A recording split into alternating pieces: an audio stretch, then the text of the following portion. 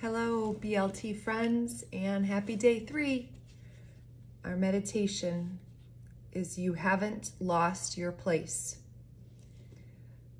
Sometimes when life shifts and changes, it can feel like we've lost our place.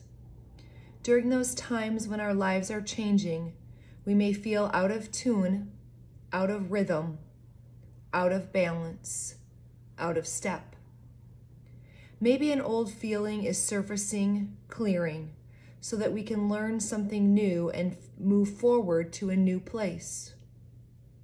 Maybe our attention is being diverted to a new focus so that we can find and experience another lesson.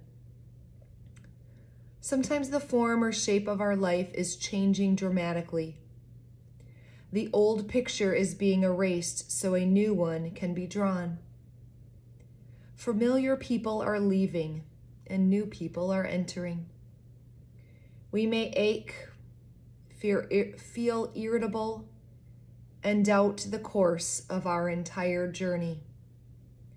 We may doubt whether the magical way we were living was even real and whether the magic will ever return.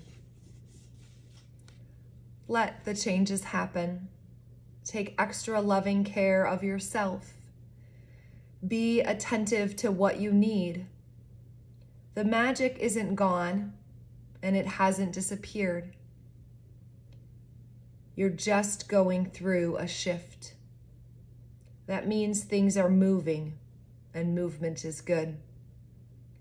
For now, it may feel like you can't find your place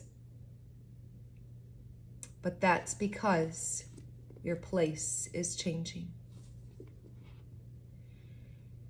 Our yoga pose for tonight is a restful pose, but I like to do it with either a bolster if you have it and a block, or you could just use again some blankets or pillows stacked up and so I bring the bolster uh, and then the block right underneath it. And I'm gonna place my butt on the block and then my back, making sure that my head is supported by the bolster. And then the legs, you can do a lot of things with the legs. I like to bring my legs out to this bound angle so that the, it's called bound angle pose, so that the feet, soles of my feet are together and then I rest, make sure your head is resting on the bolster and then the arms can just be out to the side. If this does not feel good on your hips, feel free to either place like a pillow or blankets underneath your calves or knees bent or straight. Close your eyes. And I recommend that you lay there for at least a couple of minutes uh, and give yourself a little bit of a break.